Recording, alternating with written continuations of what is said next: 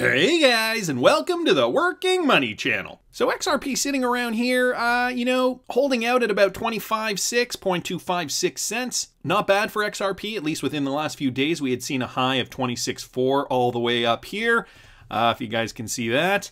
And what happened here? You know, we saw XRP shoot up and then come right back down again, and uh, now sitting in that level at uh, about 25 and a half cents. There are some thoughts on this, so let's look at the entire crypto market. Bitcoin right now trading at 15.5, 15,578, up 1.14% uh, on the 24 hour. Ethereum trading at 461, up 2.18%, and XRP trading, as I had mentioned, about 25.7, down about 1.64% on the 24 hour. When we look at the market cap, we are slowly, gradually increasing crypto market cap. So there is money being poured into the market. Right now, sitting at about 450 billion. And what was brought to my attention was this from MackAttack XRP. XRP spikes 4.22% after the Ripple buy-in, uh, which speaks to this idea is XRP reacting to certain market factors and not others. There is now an air of unpredictability surrounding XRP. Bitcoin is currently consolidating above 15,000 and other altcoins such as Ethereum and Link have been steadily rising higher and higher in the charts. But of course, this wasn't the same for XRP. While Bitcoin's value has exhibited periods of significant growth over the past couple of years, XRP uh, hardly witnessed a massive rise. While this is because it is an altcoin and it is uh, still following Bitcoin, um, there is still only spec market supply and demand for XRP right now. While it does not say much about the token other than extreme sideways consolidation, its market reacted fervently due to an extrinsic factor. Now, what they're talking about here is uh, the Ripple buy in and uh, they're discussing this down here. This move up that we saw for XRP, if you guys can see that on the chart, why did this happen? Okay, we saw from from the from the bottom of this candlestick here. This is on the hourly, by the way. November 10th at about 2 a.m. Uh, to the next hour, which is November 10th to about 3 a.m. XRP saw a 5.78% rise.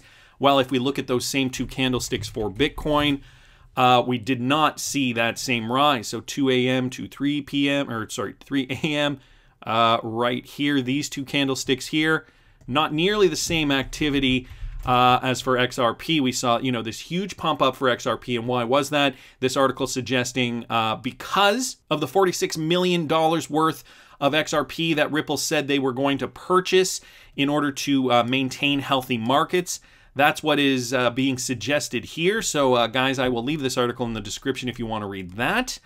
What I think is, yes, a overall positive quarter three report is going to help XRP uh, in the moment, and uh, this is overnight too. Let's not forget it could be foreign buyers. But I truly believe overall the sentiment for cryptocurrencies like XRP, specifically and Bitcoin, because uh, it has been in the news. It has name recognition. They throw it around all the time when they talk about cryptocurrency uh, going mainstream. Is the fact that now we are seeing somewhat of a clear path with regards to, and I know it is going to be contested, but a clear path, at least this is what the masses believe, a clear path for cryptocurrency adoption in the United States. Let's not forget after the election, we did see a big uh, pump for XRP and Bitcoin respectively. The entire crypto market saw a bit of a rally. And so this just happened. Now, whether you think that Joe Biden should have done this or not, because the election results are still being contested, Gary Gensler, a Washington and Wall Street veteran who has closely studied the budding cryptocurrency field, will lead the financial policy transition team for projected U.S. President-elect Joe Biden. As you're noticing here, Coindesk is saying projected U.S. President-elect Joe Biden. Uh, so, a former chairman for the CFTC, Gensler, was tapped to lead the agency review team for the uh, Federal Reserve banking and security regulators. The Biden campaign formally announced uh, Tuesday, which was yesterday. So, this is now a formal announcement, uh, and he was a key player in Obama's administration. So, uh, this also is definitely playing into cryptocurrency clarity with regards to U.S. regulations. But all this, guys, is butting up against the overall political narrative of what is going on in the United States of America, namely this. Uh, this tweeted out from Ian Binns on Twitter. Lay hammer a smooth transition or pose a risk to national security. There will be a smooth transition to a second Trump administration. Whoa! I'm sure a lot of you guys caught that yesterday. Secretary of State Mike Pompeo uh, suggesting there's going to be a second Trump administration. So I saw this from CNBC.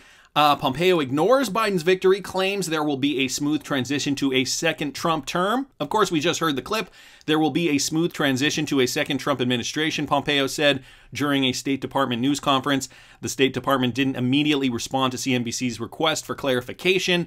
We're going to count all the votes, he said, the nation's top diplomat added, saying uh, the world should have every confidence that the transition necessary to make sure that the State Department is functional today, successful today, and successful when the president who's in office on January 20th.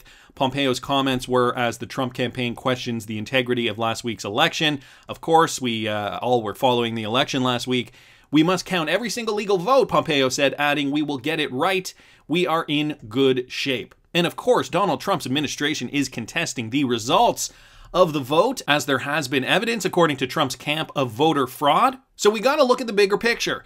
Biden's camp already picking their guys like Gary Gensler, which uh, I'm sure would be good for cryptocurrency uh, adoption within the United States. But there still is that element of uncertainty.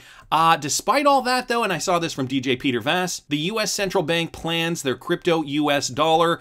Uh, so this is going forward, and I think that this was going to go forward regardless. President of the Dallas Federal Bank, Robert Kaplan, hinted that it was time for the U.S. Federal Reserve to begin work on their crypto dollar immediately. This is a clear sign that some policymakers view this as an urgent case that needed to be promptly attended to. Speaking recently at a virtual seminar hosted by Bloomberg, the president of the Dallas Federal Reserve reportedly said, It is critical that the Fed focuses on developing a digital currency in the coming months and years. The world's largest economy is finally considering the use of digital dollars following slow beer flu stimulus payments to its citizens. The U.S. Congress recently heard testimonies on the usage of digital dollars to facilitate the U.S.'s legacy financial infrastructure.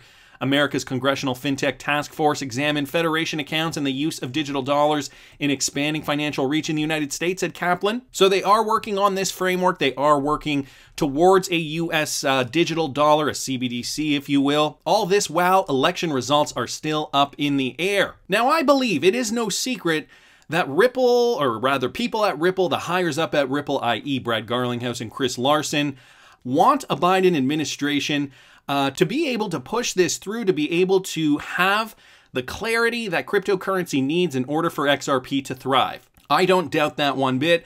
I do believe that they were having some problems with the Trump administration. This is just my opinion. I think it's safe to say that a lot of Silicon Valley types are Democrats. Maybe I'm painting people with a broad brush.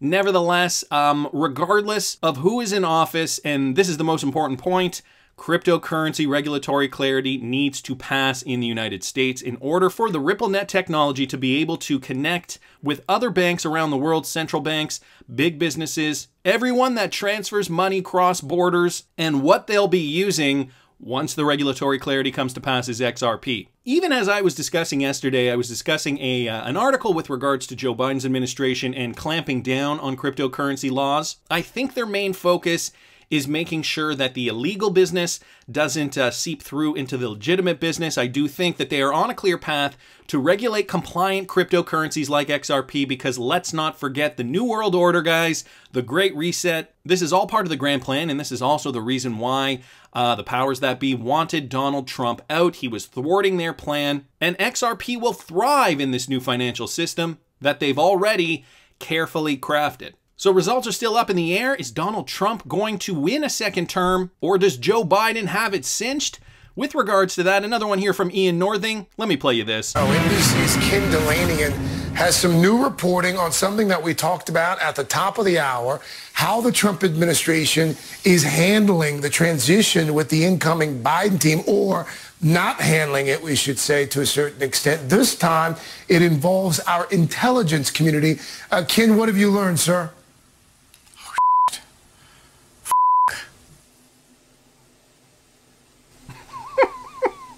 Okay. Uh, think we lost. Think we lost Ken for a second. We'll try to get him back there.